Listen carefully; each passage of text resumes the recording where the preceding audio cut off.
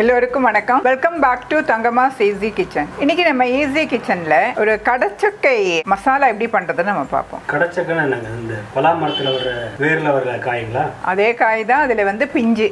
இப்போ நம்ம இந்த கடச்சக்கை குழம்பு பண்ணுறதுக்கு இது வந்து நம்ம மட்டன் கிரேவி மாதிரி இருக்குங்க. ரொம்ப டேஸ்டியாக இருக்கும். கேரளாவில் வந்து இது ரொம்ப ஃபேமஸ் இப்போ நான் ஒரு பேன் வச்சு அது நல்லா ஹீட் ஆயிடுச்சு. அதில் நான் வந்து கொஞ்சமாக ரெண்டு டேபிள் ஸ்பூன் கடலெண்ணெய் விட்டுருக்கேன். அதில் ஒரு அரை மூடி தேங்காய் எடுத்துக்கலாம். நான் வந்து ஒரு சின்ன மூடி அரை மூடி தேங்காய் எடுத்திருக்கேன். அதில் வந்து நம்ம கொஞ்சம் கருவேப்பிலை வெங்காயம் ஒரு புடி வெங்காயம் போட்டிருக்கேன் நான். பெரிய வெங்காயம் தான். சின்ன வெங்காயமாக இருந்தாலும் டேஸ்டியாக இருக்கும். அதுவும் போடலாம். இது நல்லா வறுக்கணுங்க. தேங்காய் வந்து கொஞ்சம் முத்தின தேங்காவாக எடுத்துங்க. துருவிட்டு இந்த மாதிரி நல்லா வறுத்து எடுக்கணும். ப்ரௌன் கலர் வர்ற வரைக்கும் நம்ம கைவிடாமல் கிளறி அது வறுத்து எடுக்கணும். பாருங்க நான் இது இந்த தேங்காய் வறுக்க ஆரம்பித்து ஒரு செவன் மினிட்ஸ் ஆகுது. நல்லா ஹீட் ஆனதும் கொஞ்சம் லைட்டாக ஸ்லோ பண்ணிட்டேன் நான். ஃபஸ்ட்டு ஃபஸ்ட்டு பண்ணுறவங்களா இருந்தால் நல்லா ஸ்லோ பண்ணிவிட்டு இந்த தேங்காவை வறுத்தா நல்லாயிருக்கும் இந்த மாதிரி உடன் ஸ்டிக்கர் uh, வச்சிங்கன்னா ரொம்ப கை சுடாமல் இருக்கும். பாருங்கள் நல்லா ப்ரௌன் கலர் ஆயிடுச்சு இப்போது இந்த டைமில் நம்ம இதில் வந்து மசாலா போடலாம். நான் ஃபுல்லாக ஸ்லோ பண்ணிட்டேன். பாருங்கள் தனியாத்தூள். ரெண்டு டீஸ்பூன் போட்டிருக்கேன். மிளகாத்தூள் வந்து ஒரு டீஸ்பூன் இப்போ நம்ம இது வந்து நல்லா வறுக்கணும். அந்த பச்சை வாசனையெல்லாம் போகிற வரைக்கும். ஒரு கால் டீஸ்பூன் மஞ்சத்தூள். கொஞ்சம் ஃபுல் ஃப்ளேமில் தான் வச்சுருக்கேன். கொஞ்சம் ஃபுல் ஃப்ளேமில் வச்சிங்கன்னா கொஞ்சம் கை விடாமல் கலருங்க. ரொம்ப ஹீட் ஆயிடுச்சு அப்படின்னா நல்லா ஸ்லோ பண்ணிக்கலாம். தீயாமல் வறுத்தெடுக்கணும் நம்ம. இந்த மிளகாத்தூளும் தனியாத்தூளும். ஓ தீயாமல் இருக்கிறது தான் ஆமாம் இல்லைன்னா அது தூள் இல்லை. நம்ம அப்படியே போட்டோம்னா பிரச்சனை இல்லை. நமக்கு தெரியும். அது கலர் மாறும்போது. இப்போ தெரியாது. இப்போ இது நல்லா வறுத்தாச்சு. இப்போ நம்ம கேஸ் ஆஃப் பண்ணிடலாம். நான் கேஸ் ஆஃப் பண்ணிட்டேன். இப்போ நம்ம இதை எப்படி கட் பண்ணுறதுன்னு பார்ப்போம். முதல்ல இங்கே ஃப்ரெண்டில் எப்படி கட் பண்ணி எடுத்துங்க பாருங்கள் இந்த பால் மாதிரி வரும். அது வந்து ஒரு பேப்பரை வச்சு இந்த மாதிரி தொடச்சி எடுத்துருங்க. இல்லைன்னா கையில எல்லாம் ஒட்டும் இது. இந்த மாதிரி கட் பண்ணிடுங்க. பிஞ்சு தான் அதனால் உங்களுக்கு கட் பண்ணுறதுக்கு ஈஸியாக இருக்கும். இது பாருங்கள் அந்த சைடில் இருக்கிற அந்த முள்ளுங்கெல்லாம் ஆமாம் அவ்வளோதான் இந்த மாதிரியும் கட் பண்ணலாம். இந்த மாதிரி ஃபுல்லாக எடுத்துட்டு எட்டு பீஸ் போடுவீங்க. ஒன்று பாருங்களேன் அதான் ஒன்று காட்டுறேன் பாருங்கள் இந்த மாதிரி கட் பண்ணும்போது இந்த சென்டரில் இருக்குல்ல? ஆமாம் இது கொஞ்சம் ஹார்டாக இருக்கும். சரி. அது மட்டும் இதோ இப்படி இந்த மாதிரி? கட் பண்ணி அதுக்கு போட்டுடணும் அது. அது கொஞ்சம் ஹார்டாக இருக்கும். அது அவ்வளோ வே சீக்கிரம் வேகாது அது.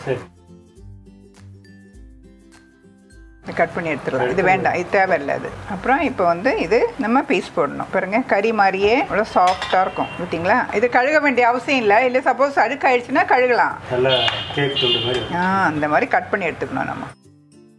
காய் அரிஞ்சிட்டோம். இப்போ நம்ம வந்து குழம்பு பண்ணலாம். எப்படின்னு? நாலு டேபிள் ஸ்பூன் கடலெண்ணெய் விட்டுருக்கேன். நல்லா ஹீட் ஆகட்டும் இப்போ நம்ம அதில் வந்து வெங்காயம். நல்லா ஒரு ரெண்டு புடி வெங்காயம். பெரிய வெங்காயம் அரிஞ்சுது.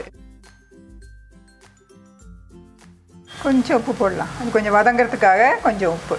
உப்பு போட்டால் கொஞ்சம் சீக்கிரம் ஆமாம் சீக்கிரம் அது சாஃப்ட் ஆகும்.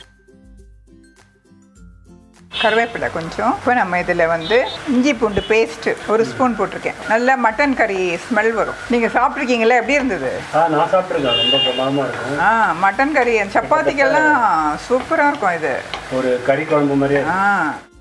பாருங்க இதில் வந்து நான் ஒரு தக்காளி ஒரே ஒரு தக்காளி தான் போடணும். தக்காளி எதுக்காக ஆ லைட்டாக ஒரு புளிப்பு வேணும். புளி வேணும். புளி ஓவராகவும் இருந்தால் நல்லா இருக்காது. புளி ஊற்ற முடியாது நம்ம. அது நல்லா இருக்காது. இப்போ இந்த தக்காளியோட புளிப்பு. இப்போ நம்ம இதில் வந்து இந்த அரிஞ்சு வச்சுருக்கோம் இல்லையா? ஆனால் இது அரியும் போதும் ஒரு பிசு பிசுப்பு தன்மை இருக்கும் கையில். நீங்கள் கொஞ்சம் ஏதோ ஒரு எண்ணெய் கையில் தடவிட்டு தான் அரியணும். நல்லா கிளறி விட்டுட்டு நான் வந்து ஒரு டம்ளர் தண்ணி. இது வேகிறதுக்காக ஒரு டம்ளர் தண்ணி. ஆமாம் போட்டு நம்ம வந்து மூடி வச்சிடலாம் இது. பாருங்க இந்த கடச்சக்கை போட்டு கிட்டத்தட்ட ஒரு தேர்ட்டி ஃபைவ் மினிட்ஸ் ஆகுதுங்க. தண்ணியும் பத்தலை. மறுபடியும் நான் வந்து ஒரு ஒன்றரை டம்ளர் தண்ணி ஊற்றினேன் இது நீங்கள் ஒன்று பண்ணலாம். நீங்கள் வந்து இது கடச்சக்கை வந்து தனியாக குக்கரில் போட்டு ஒரே ஒரு விசில் போட்டிங்கன்னா ரொம்ப ஈஸியாக முடிஞ்சிடும் இது நான் அப்படியே வேக வச்சதுனால இவ்வளோ டைம் எடுத்தது. பாருங்க நல்லா வெந்துடுச்சு இது. இது பாருங்க. நல்லா வெந்துருச்சு கறி மாதிரி. இப்போ நம்ம இதில் வந்து மசாலா விடலாம். தேங்காய்லாம் வறுத்தோம் இல்லையா? அந்த மசாலா வந்து ஆமாம் அது இப்போ நம்ம இதில் வந்து ஆட் பண்ணலாம். இப்போ மறுபடியும் இதில் இந்த மிக்சியை வந்து கழுகி வந்து இந்த தண்ணியை ஊற்றிடலாம் இந்த தண்ணி கன்சிஸ்டன்சி வந்து நம்ம எவ்வளோ வேணுமோ அதுக்கு தகுந்த மாதிரி ஒரு கிரேவி மாதிரி எடுத்துக்கலாம் நம்ம. இதுதான் கரெக்டு பாருங்க அந்த கறி குழம்போட கன்சிஸ்டன்சி குருமாலாம் செய்வோம் இல்லையா? இப்போ நான் இதில் வந்து ஒரு கால் டீஸ்பூன் கரம் மசாலா தூள். ஒரு கால் டீஸ்பூன் பெப்பர் தூள். ரெண்டையும் ஆட் பண்ணிக்கிறேன். ஒரு சின்ன கொதி வரட்டும். கொதி வந்தோடனே நம்ம இது இறக்கிடலாம். இப்போ நம்ம மூடி வச்சிடலாம். பாருங்கள் இந்த மசாலா விட்டு இந்த இந்த மாதிரி கொதி வந்தது பாருங்கள் இந்த மாதிரி கொதி வந்த உடனே ஃபுல் ஃப்ளேமில் தான் வச்சுருக்கேன். சரி. இந்த மாதிரி கொதி வந்த உடனே நம்ம இப்போ இறக்கிடலாம். இப்போ தாளிக்கலாம். கொஞ்சம் எண்ணெய். ஒரு அரை டீஸ்பூன் கடுகு உளுத்தம்பருப்பு போட்டிருக்கேன். கடுகு பொரிஞ்சிடுச்சு ஸ்லோ பண்ணிட்டேன். ஒரு கால் டீஸ்பூன் சோம்பு ஒரு ரெண்டு வரமிளகா கொஞ்சம் கருவேப்பிலை ஒரு கால் டீஸ்பூன் மிளகாத்தூள். மிளகாத்தூள் வந்து கலருக்காக போடுறேன். அவ்வளோதாங்க கேஸ் ஆஃப் பண்ணிட்டேன் நான். இப்போ நம்ம அதை அப்படியே எடுத்து மேலே கொட்டலாம். வாசனையாகவும் இருக்கும். பார்க்குறதுக்கு எப்படி இருக்குது ஆ இதுதான் இது வந்து சப்பாத்தி சாதம் எல்லாத்துக்குமே தோசை இட்லி எல்லாத்துக்குமே ரொம்ப நல்லாயிருக்கும். நீங்களும் இதே மெத்தடில் செஞ்சு பார்த்துட்டு ஷேர் பண்ணுங்கள் கமெண்ட் பண்ணுங்கள் சப்ஸ்கிரைப் பண்ணுங்கள் தேங்க்யூ வெரி மச்